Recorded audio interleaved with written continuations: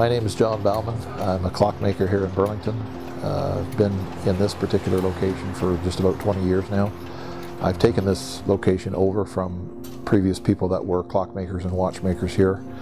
So yeah, there's been a clockmaker on this corner and watchmaker for quite a number of years. I'm basically just carrying on the tradition down here in Burlington. And it's a good place to actually have a business like this because um, we draw from just about the entire GTA now. Um, you can well imagine that as time goes on, more and more of us are retiring and stepping out of it. I'm probably one of the last ones left. So that means people are coming from much farther away. We do a lot of different restorations. Uh, it's not uncommon for us to be working on stuff that's two and three hundred years old.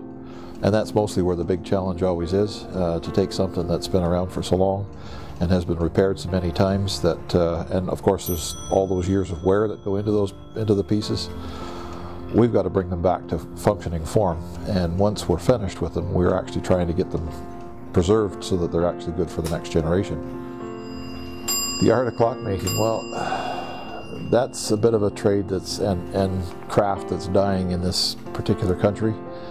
There are no schools left that actually offer it anymore. We actually will have to uh, learn it as a distance learning now because there's there's no one offering the courses anymore here in North America. So I have a student right now, for example, that is through the British Horological Institute, and, and he's trying to learn the craft of clockmaking. Um, he can still go quite far with that if he likes to, because there's always going to be a need for a good clockmaker, because there are literally three or four, 300 plus years of clocks out there that still need to be repaired and restored start learning as much as you possibly can from the older generation because they're the ones that when they're gone, you won't get that information from them anymore.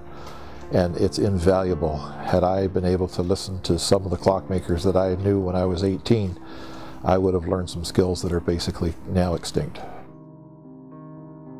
In the past, of course, everything was done by hand. Um, and as my teacher had said to me, you know, those those men have, and, and women that actually built watches, because quite frankly, there were a lot of women that were involved in the watchmaking trade 100 and some odd years ago. They've, they've lost, we've lost so much information that they, and skill, hand skill that they had. If you really want to know, you, you've got to keep learning. So, and there's always something that's going to come through your door that you haven't seen before. So it's always a lot of reading, a lot of asking. Um, and that's really that's where the challenge comes from. Obviously, as a store like this with a retail location, we do more than just repair clocks. We also sell antique clocks.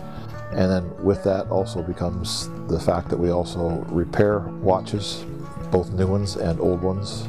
And now uh, something that's relatively new for us, but has been a passion of mine for a long time, fountain pens.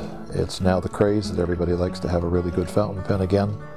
I sort of grew up with them, so I've started getting into the sales of fountain pens with a bit of a knowledge on them, and as well as the basic repairs of fountain pens as well.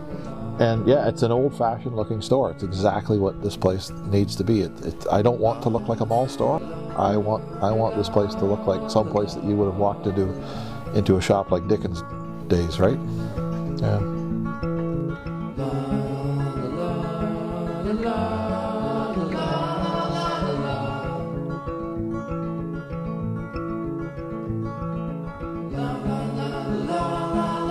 Love.